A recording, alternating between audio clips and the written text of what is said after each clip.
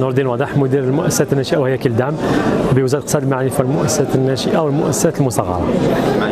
آه، اليوم النظام البيئي الجزائري يعرف تسارع في الوتيرة ونظن أن هذه الوتيرة يمكن أن تتسارع أكثر آه، لما يكون فيه شراكات حقيقية آه، مع أنظمة بيئية فعالة في العالم.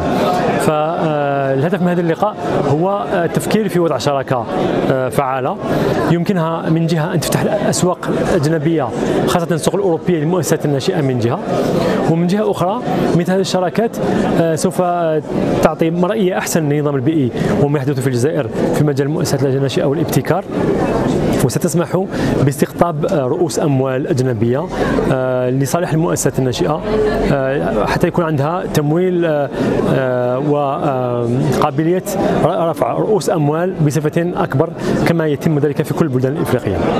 الآن الجزائر تعمل على وضع أطر تعاون مع أحسن الأنظمة البيئية في العالم.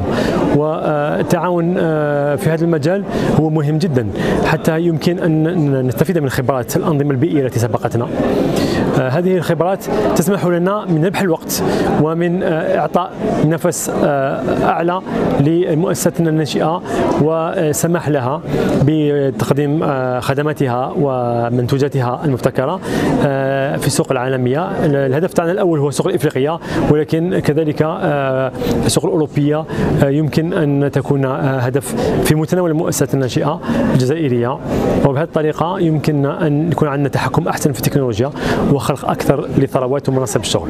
شوف مثل هذه الشركات تسمح كذلك للمقاولين نفسهم أنهم يحتكوا مع مقاولين أجنبيين وهذه نقطة مهمة. المقاولات هي مش سهل وتبادل الخبرات مع المقاولين المقاولين في العالم راح تكون عندها آه، اثر إيجابي على أن المؤسسات الناشئه تاعنا تكون أكثر صلابة تكون أكثر قوة ويكون كذلك أحسن تحكما في التكنولوجيا وفي الجانب الأعمال وجانب البزنس آه، في النظام البيئي الجزائري وفي الخارج.